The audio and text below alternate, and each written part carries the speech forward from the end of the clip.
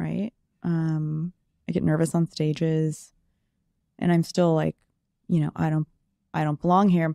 But the I don't belong here is also a really great motivator. The I don't belong here is I snuck in the back door. I don't belong here means I can do things differently.